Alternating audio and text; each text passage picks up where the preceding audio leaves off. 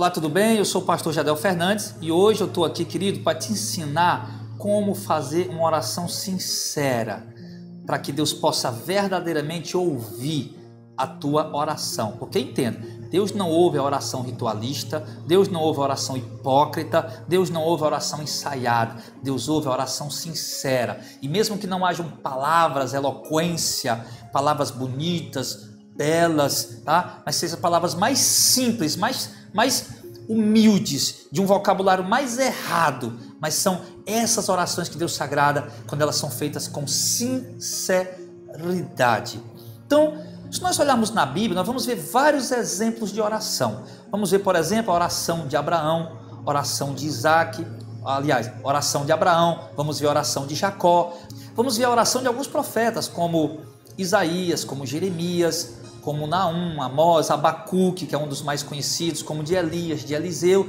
E nós vamos ver também no ministério apostólico muitas orações dos apóstolos, tá? E, claro, principalmente as orações do nosso Senhor Jesus Cristo. E o que é que nós vemos de comum em todas essas orações? Eu não vou pegar todos os textos para a gente abrir, para não ficar longo esse esse vídeo tenho o objetivo de ser um vídeo objetivo e curto, tá bom? Então vou pegar o texto base para tudo isso. O que, é que a gente vê em comum na oração de Jesus, dos apóstolos, dos profetas, desses homens de Deus, de Davi, nos salmos, há várias orações, tá? Que Deus ouviu, que Deus atendeu. Foi a sinceridade. A sinceridade, a verdade do coração. Não era a eloquência das palavras. Daniel, esqueci de falar das orações de Daniel, querido. Exemplos maravilhosos das orações de Daniel, tá? E comum na oração de todos esses homens foi a sinceridade, a verdade com a qual eles falaram a Deus. Em momento algum eles foram hipócritas. Ó oh, Senhor, está tudo bem, está todo mundo morrendo aqui, estou passando fome, mas está bom demais, Senhor. Obrigado por tudo. E o coração achando ruim. Não, esse tipo de oração Deus não aceita, esse tipo de oração Deus não recebe, esse tipo de oração Deus não responde. Para a sua oração ser respondida, atendida, ela precisa ser sincera, querido. E o texto é esse. Mateus capítulo 6, versículo 6. Mas tu, quando orares, entra no teu aposento, teu quarto, e fecha a tua porta, e ora ao teu pai em secreto, e o teu pai que vem em secreto te recompensará publicamente. E orando, não useis de vãs repetições como os gentios que pensam que por muito falar serão ouvidos. Não vos assemelheis, pois, a ele, porque vosso pai sabe que vos é necessário antes de vós, antes de vós o pedirdes. Então preste atenção, querido. Que, que há de incomum nisso que Jesus está ensinando? Jesus está ensinando aqui, querido, a base da oração dele, a base da oração dos apóstolos, a base da oração de todos os profetas e homens de Deus que oraram e foram atendidos. É a oração sincera. Entra no teu quarto, fala com Deus com sinceridade. Ele diz: entra no teu quarto, fecha a tua porta. É aquela oração íntima, é aquela oração de filho falando com o pai, sem burocracia, sem métodos, tá? Sem temática, mas aquela oração simples, sincera, com palavras erradas, com vocabulário errado, mas a palavra de Deus diz, querido, que nós não sabemos orar como convém. Nem Paulo sabia orar como convém, nós vamos saber. O Espírito é por nós com gemidos inexprimíveis. Mas você pode fazer como Daniel, aquela oração sincera que Daniel fez.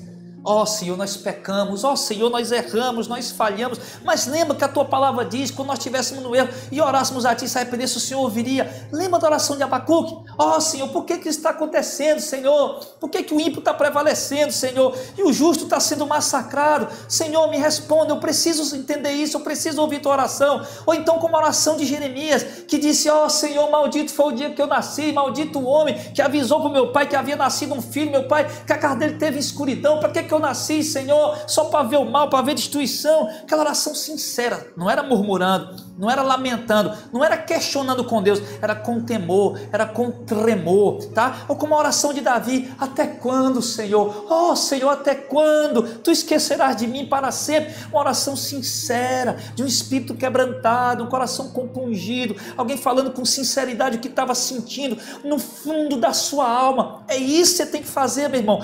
Quer que Deus ouça a tua oração? Só se for uma oração sincera. É a única oração que Deus vai ouvir. E essa oração precisa ser verdadeira. Ela precisa de fato exprimir o que está no teu coração. Está com medo, ó oh, Senhor, estou com medo, ó oh, Senhor, eu não entendo por que o Senhor está fazendo isso, não entendo, Senhor, eu te amo, eu estou aqui com temor, Senhor, mas eu não entendo, eu não compreendo, eu queria entender, Senhor, revela, fala, mostra, age, opera, faz, eu não sei mais o que fazer, Senhor, eu estou com medo, eu perdi as rédeas, eu não tenho mais vontade da Tua presença, não tenho mais vontade da Tua palavra, não tenho mais sede de Ti, Senhor, eu não sinto mais amor por Ti, Senhor, me ajuda, me socorre, a oração sincera, querido, essa é a oração que Deus vai ouvir, essa é a oração correta, essa é a oração verdadeira, é a oração que exprime os anseios da alma do homem. Essa é a oração, é assim que se deve fazer uma oração sincera, ok? Então, não esconda nada de Deus. Chega a Ele com humildade, chega a Ele com simplicidade, reconhecendo que você não é nada, que você não é ninguém e que Ele é o Senhor, que Ele é soberano. Mas chegue para Ele, meu irmão, com sinceridade, exprimindo realmente o que está no teu coração, tá? Com verdade, com amor, com temor, mas com sinceridade, ok? Então é isso, que Deus abençoe a tua vida, que Deus renove a tua vida de oração, que ela possa ser abrasada pelo fogo do Espírito Santo, você seguir nessa orientação bíblica. Que Deus te abençoe, em nome de Jesus.